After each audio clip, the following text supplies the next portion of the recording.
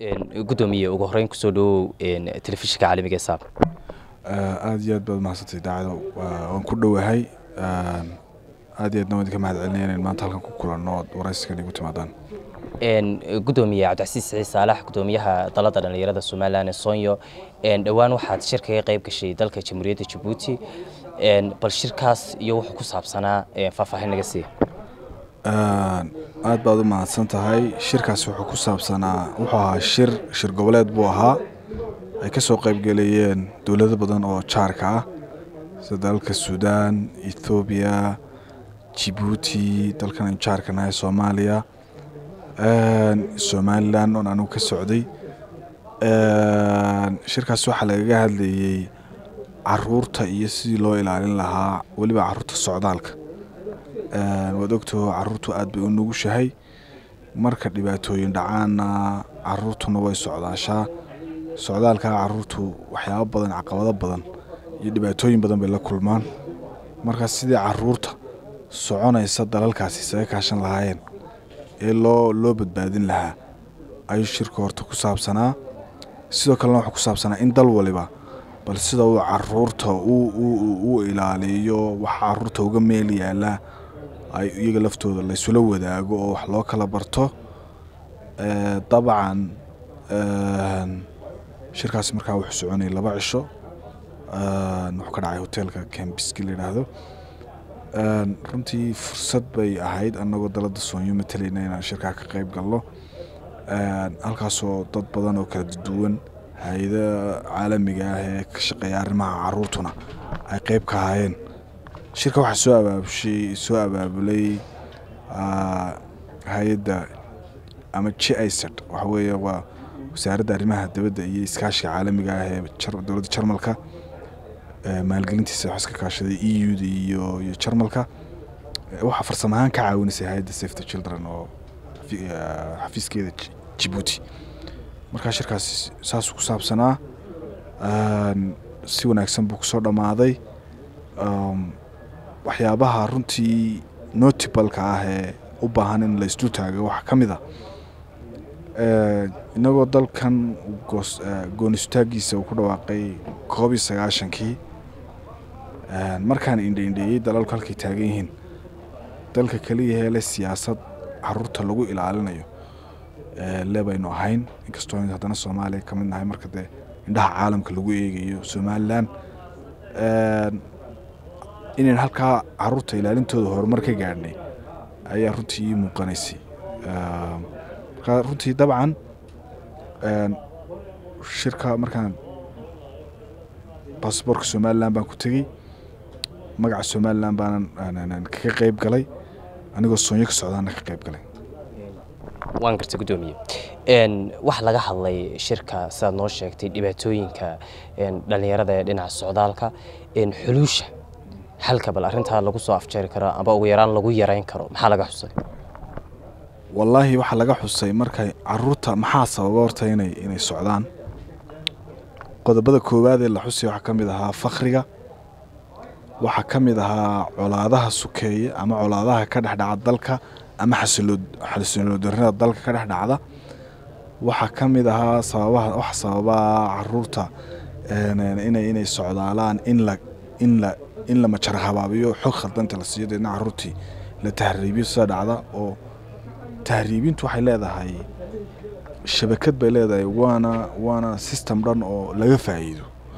Marka waxyaabahaasaa sababa xalka waxa loo waxyaabaha xalka shirku hoosta ka xariiqa waxaa ka mid ah in dowlad wanaagga in la xoojiyo hay'adaha dawligaa la xoojiyo ee socdaal ka shaqaynaya in dalalku ay noqdaan dalal dimuqraadiya oo aan halkii ma garanaysaa marka dalka dictator qabsado waxaa dhacaya mar walba wuxuu dalkaasi u nugul yahay in inuu civil unrest dhaco ama kacdoon dhaco ama civil warka ama dagaal sukeeye ka qarxo. Marka wuxuu shirku hoosta ka xariiqay in kor loo qaado mabaadida isdoorashada xorta ah dadkuna ay iyagu go'aanka yeeshaan in xorta la isdoorto runtii waxaanad arkaysaa markaad eegto dalalka hoon africa ee nagu hareereysan geeska africa dee somalilan baa u ah xidig u ah markay noqoto isdoorashada dadka shacabka inay hogaankooda soo doortaan. Halkaana tusaale ayayno saddex gudoomi saddex madaxweyne ayaa ayaa runtii doorasho ku yimi. Marka markaad eegto jibuuti markaad eegto ethoobiya soomaaliya markaad suudaan eegto dee waad garanaysaa halka ka taagan tahay. Marka taas lafteeda markaanu guruubada iyo arrimaha laga doodayay qodobada laysku raacay bay ka mid ahayd. In in kor loo qaado is- doorashada iyo in dadku doortaan hogaamiyaasha een, dalalka hogaaminaya. Gebagabadii gudoomiye een, dhalinyarada somalilan ayaa tahay gudoomiyahoodii dalladda ay ku midaysan yihiin. Dhalinyaradu bulshadii waxay ka yihiin tirada ugu badan waxaa ugu yaraan lagu qiyaasaa in ay yihiin boqolkiiba shan iyo toddobaatan. Waxa ay ka cawdaan dhibaatooyin fara badan oo dhinacii nolosha ah oo dhinacii tayada waxbarashada ah. Soonya ahaan maxaad isleedihiin bal aad aad arrimahaas ka qabataan inta aad xilka haysaan? Walaahi waa su'aal wanaagsan soonyo waa hal abuur dhalinyaro waa kacdoon dhalinyaro. Dhalinyaraa abuurtay muddo shan iyo sano shan iyo toban guuradeediina way nagu soo dhowday horo oo sanadkan aynu xusi doonaa haddii ilaahay ka dhigo. Soonyo waxyaabo badan si u ajiif garaysay waxyaabo badan si ay u gaadhay uga madha dhalisay. Waxyaabo badan oo kalena runtii way u harsan yihiin. Oo hoggaan weliba han iyo wuxuu la yimaadaa himilo. Hoggaanka sideedaad ee aan anigu hogaaminayo waxaan doonaynaa inaan ka midho dhalino in shaqa abuurku iyo shaqogelinta dhallinyaradu ay dalkan u noqoto waxyaabaha koowaad ee madaxweynaha ama dowladda jirta ay wax ka qabanayso. Runtii taa waxaa lagu gaadhay ama aanu ku gaadhnay inaanu cad- xoojino xidhiidhka iyo inaanu arrinta dhallinyarada miiska saarno. Waad ogeyd maalintii dhallinyarada somalilan laba cishaan xusnay kulan heer sare ah ama high level ah ayaan qabanay madaxweynaha jamhuuriyadda somalilan nagala soo qayb galay mudane muse Bi- muse bixi cabdi. Waan uga mahad celinaa runtii. Waxay kutusaysaa siduu madaxweynuhu u doonayay in uu dhallinyaradii wax ula qabto. Marka annaga waxaanu keenaynaa xuluushii waxaa lagaga dhawaaqay sanduuqii dhallinyarada somalilan oo noqon doona sanduuq maalgeliya hal abuurka dhallinyarada. Ninkii ganacsi leh kii baranaya xirfad kii u baahan in een, wax lagala qabto ma garanaysaa arrin uu doonayo dalka wax kaga soo kordhiyo taasina waxay abuuri doontaa insha allah shaqooyin ay dhallinyaradu noloshooda ku kaafiyaan. Waxaa kaloo isaguna jira barnaamij animka safe the children la bilaabi doono waxaanu abuuri doonaa gobollada noo hargeysa imika ka bilaabaynaa job center xarun dhallinyaradu ay shaqada iyo sida loo shaqo helo iyo diyaargarowga shaqada iyo waxa ay ku bartaan. Goboladana xarumahoodii gacantaanu ku haynaa dhulkii baanu hawshiisii wadnaa. Marka hortan iyo qolo waliba waxbay bilowdaa. Annagu markaa waxaan doonaynaa in hawsha dalada dhallinyarada ay ku hayso gobolka maroodijeex ama caasimadda hargeysa in goboladana la gaadhsiiyo. Gobolada marka la gaadhsiiyana ay ma garanaysaa adeegyadii dhallinyarada loo fulinayay ay gaadho. Waxaa kaloonu ka hadalnay maalintii dhallinyarada somalilan oo idinkuna aad arkayseen in waxbarashadu ay u baahan tahay tayo. Waxaa loo baahan yahay waxbarashadu inay inay dhibaatooyinka iyo mashaakilaadka dalka haysta ay u noqoto xal. Dhallinyaraduna ay noqoto ay ku tababarto inay hela inay noqdaan dad karti leh aqoon leh wax soo saar leh. Halkii lagu tababar lahaa markaa dhallinyaradaas hadday noqoto meel hadh iyo miisuun loo tago kuwa waxu dhigayaan aanay wax badan dhaamin. Badankoodu jaamacaduhu isku wada mid maaha. Laakiin jaamacado badan oo u baahan inay dib isu qaabeeyaan oo dib isu tayeeyaan baa jira. Markaa madax- madaxweynaha waxaanu ka codsanay in hoos loo eego jaamacadaha tayadooda hoos loo eego higher educationku iyo weliba ah, secondary educationku waa muhiim. Marka aniga waanu eegi doonaa waan adeegyada cidda bixinaysa ayaanu gaarsiin doonaa fariimaha iyo galdaloolooyinka halka uu ka jiro. Strategic balaanka iyagana cusubna.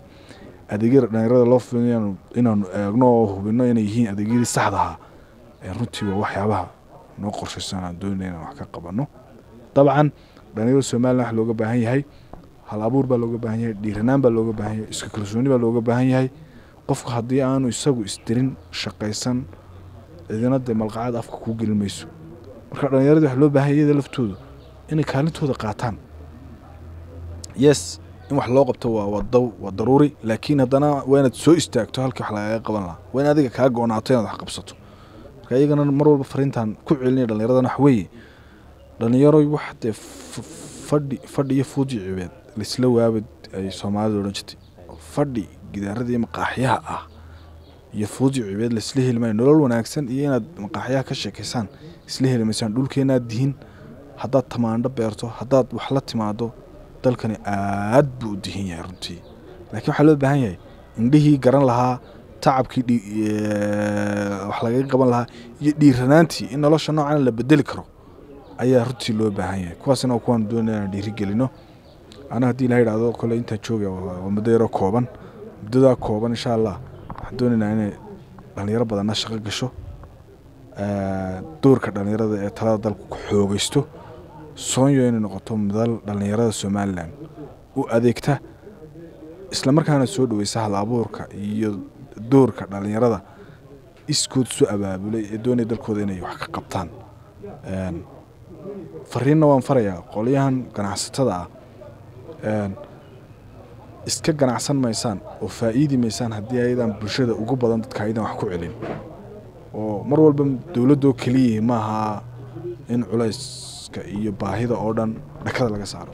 Shirkadaha waaweyn ay ka mid yihiin dahabshiil ay ka mid yihiin telesom ay ka mid yihiin so ama somcable run ahaantii iyagunbaa isu muuqda oo tartamaya oo macaashuun eryanaya laakiin haddii aanay eegin dhallinyarada iyo habnololeedka bulshada somalilan oo aanay wax ku darsanin runtii macaashkoodaasi eh, ma noqon doono mid joogtooba ama sustainable ah. marka iyagana waxaanu leeyahay sanduuqaa la sameynayo ee dowladda wax ku riday abaabulkiisii iyo diyaarintiisii iyo habkuu shaqeynayana gacanta lagu hayo inay u sii diyaargaroobaan oo waxay ku dar- ku darsan lahaayeen ay qorshayaasha ku daraan dadkana waa in loo turo oo ganacsigu hadduu tartanku uu noqdo un inay iyagu isu muuqdaan waxa ku baaba'aya waxa weeyaan waa waa dan- danyarta weeyaan. Imika ar- arrimahan sixir bararka arrimahan maciishadaha waxa weeyaan dee inta dowladda lagu eedeynayo in ka badan baa iyagana mudan tahay in lagu eedeeyo. Sababtoo waxa la yidhi haddii maroodigu islaayo dhirtaa ku baaba'da iyo cawska. Haddii shirkadaha waaweyn tartamaan oo macaashuun isku eryadaan oo iimaankuba ka tago dadkii danyartahabaa ku idlaanaya ku baaba'aya noloshoodana ay saameynaysaa marka iyagana fariintan maanta halkan uga faaidsanay maadaama maanta saab t v la joogo war ummadda u tudha deeqdan ilaahaydi siiya waa laydinku itixaamayaa ummadda u tudha ganacsigiinana ku dara iimaan iyo akhlaaqiyaadkii saxaabadii iyo rasuulkii u xoojiyey oo dadka ha loo turo. Oo damiir baynu u baahannahay uma baahna inaynu is eegno inagu shirkaduhun isu muuqdaan saddexdaa shirkadood hadday isu muuqdaanun runtii bulshada hoose way ku baaba'aysaa. Bulshadana waxaan leeyahay waxba saddexdan shirkadooda kala taageerina in yaroo kooban baa ka faa'iidee? Danihiina masiiriga ah ka fiirsada shirkad waliba waxay ku khaldan tahay shirkad waliba waxay ku wanaagsan tahay si feer oo hori lahaya runtii u- qiimeeyo u miisaama. Aad iyo aad baa umahadsantihiin saab t v. Runtiina waxa weeyaan waa waa waa arrin u baahan in aad loo loo loo loo loo loo dul taago oo wax laysaga weydiiyo. Se u saameynayso islaanta maanta tamaandhada iibinaysaa arrimahan dhaqaalaha ee isbedbedelaya ee aan la saadaalin karin sa- saameyn intee leeg ku yeelanayaan mujtamaca ballaadhan ee intaa leeg. Waxay baahan yihiin markaa in runtii laisu turo laisu taxadaro. Eh, waan mahadsantihin runtii. Gudoomiye aad iyo aad baad mahadsan tahay qayb labaad baynu u baahnayn doonaa Een, arrintii bayn tiishir n cabdicasiis saciid saalax gudoomiyaha dhalinyarada somalilan ee soonyo waxaa jirtay sannadkii eh, sanadihii labadii kun iyo labiyo tobankii ilaa iyo koob iyo tobankii la dabaqay xeer dhalinyarada somalilan dabarka furaya islamarkaasna u fasaxaya inay saaxadda siyaasadda toos u galaan. Amba ha ahaato kuwa la magacaabo amba kuwa la soo doorto. Bal xeerkaasi waayihii iyo maraaxilkii uu soo maray. Dalad ahaan bal faahfaahin naga siiya wallaahi xeerkaasi niyo xeer wuxuu ahaa ka soo abuurmay hal abuurkeedana ay lahayd soonyo. Inuu ku yahay caqabad dhallinyaradii inay yeelato han siyaasadeed. Dhallinyaradu runtii marka ay doonayso inay arrin hirgeliso ciidun bay la kaashataa waxaa kala shaqeeyey baarlamaanka guddi dhallinyarada u qaabilsanayd oo soonyo aada uga siiyey garab uga siiyey waxaa jirtay dowladdii markaa iyadoona timi oo runtii dhaga fudayd. Iyo inay ma garanaysaa arrintii soo dhoweyso inaan loo baahan yahay. Iyaduna waxaa wax aad iyo aad ma garanaysaa muhiim u ahaa. Laakiin soonyo sida ay u dhiirigelisay dhallinyaradu inay cod u yeeshaan inay kalsooni u yeeshaan inay ka qayb qaataan talada dalka mabaadi'daasay ka mid ahayd in dabar uu ku noqonayo in dhallinyaro badan oo aan da-daa gaarsiinayn laakiin u diyaara inay hogaankii dalka ka qayb qaataan ay jiraan taasina uu caqabad ku noqonayo waa qayb waxay ahayd halgan halgan dheer bay ahayd. Hogaanadii naga horreeyey baa soo galay. Way ku guulaysteen doorashooyinkii waa tii la galay. Dhallinyaro badan ayaa ka qayb gashay. Iminka runtii annaga lafteeda waxaan iminka noo muuqatay. Dee dhallinyaro un lama wada doonaye maadaama waxay danguu tahay ummad loo shaqaynayo dhallinyarada intii wax baratay isku filnaatay. Dee ma garanaysaa la tijaabiyey inay helaan inay agsaskan helaan ama ama ay helaan ma garanaysaa fursaddan ayaa muhiima. Marka waxaa iminka taagan. Tii hore waa laga soo gudbo dhallinyaradu caqabadii waa laga soo gudbay. Laakiin iminkana waxaa taagan in sidii kor sidii loo hufi lahaa loo kala haadin lahaa. Dhallinyarada lafteeda oo loo loo loo loo loo loo loo samayn lahaa hab sugan oo lagu kala hufo oo lagu kala haadiyo. Dhallinyarado keliyana maaha. Cid kastoo ummaddan xil u qaadaysa waa in la jeeg dib loo hubiyo qofkan muxuu ahaa muxuu ka soo shaqeeyey halkan ummaddan muxuu soo qabtay mas'uul ma aha wixuu soo qabtay si fiican muu soo hagaajiyey. Marka waa in waa in ummadda la hor keena dad shaandhaysan oo la hubo boqolkiiba siddeetan inay de wax wanaagsan ummaddii ma garanaysaa u qabanayaan. Marka arrinta imika noo noo taagan ee aanu ka shaqaynayna imika u baahan inaan qorshaheedii diyaarinay isla markaana aan u baahanay in cidda ay khusayso commissionka hadday tahay iyo dowladda hadday tahayba in lagala la horgeeyo. Waxa weeye dhallinyaradii way ka qayb gashay sax. Waxaanuna qaban doonaa kulamo dib loogu eegayo. Dhallinyarada ka qaybgalkii iyo dabarkii laga furay maxaynu ka faa'iidnay? Maxaa caqabaday nagaga yimi? Maxaa u baahan inaynu wax saxno? Maxaynu sii joogtayn karnaa? Maxaynu u baahanay inaynu iska joojino si aanay dib khalad dambe aynaan u gelin? Marka qorshayaashaan runtii iyagana imika waanu wadnaa oo runtii kulamo waaweyn ayaanu qaban doonaa muddo dhow insha allah marka soonyo way ku faraxsan tahay inay halgankaa dhallinyarada u gashay way ku faraxsan tahay in dhalinyaro badan oo wax oo wanaagsani. Ay jaanis ka heshay in halkaa laga sii hagaajiyo. Ayuu qorshuhu noqonaya markaa in halkaa laga sii hagaajiyo. Marnaba dee waxa weeyaan maraykanka aad aragtay adduunyada maanta dee u awoodda weyn. Baylaha baa maanta hoos taalla oo ma istaagi karo oo ma odhan karo waan anugu waan hormaro waan kaaftoomay laakiin dal waliba horumarkiisu waa joogto. Iyo marba baylahdii u taallay inuu intuu dib u eego saxo hore u socdo wixii ka khaldamay saxo haddana hore u socdo ayaa loo baahanya marka fursaddaa kale inaynu haysano inaynu maanta haddana doorashooyinka maadaamay soo dhow yihiin inaynu dib u eegno maxaa inoo saxmay iyo wanaagsan u baahan inaynu sii dee dhiirigelino? Maxaa u baahan inaynu ma garanaysaa dib u eegno dee inaga khaldamay. Marka taasina waxa weeyaan waa wax runtii caqliga caadiga ah oo runtii dee ma garanaysaa garan karo. Innagana runtii inoo muhiima. Marka dhalinyarada somaliland arrinkaa ugu faraxsan tahay. Ina ugu faraxsan tahay xukuumaddii markaa hirgelisay madaxweyne silaanyi uu hogaaminayeyna runtii way ku ammaanantay. Oo waxa weeyaan dhaganugeylku qayb buu haddaad maanta dhan wax wanaagsan jeclaato laakiin lagaa hoos qaadi waaya. Dee wixii ma ma wanaagsanaanayaan wax iska noqon doonaa ama wax riyay noqonayaan marka runtii doorkaa ay ku lahaayeen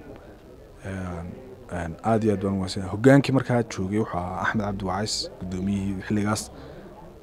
Hawshan runtii ku guuleystay isagana runtii taariikhdiisay ugu jirtaayo hogaamiye walbo soonya soo maray wuxuu taariikhda gashaday.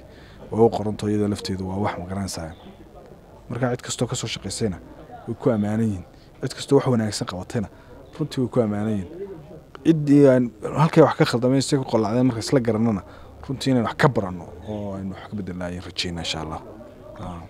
Aad baad usid gudoomiye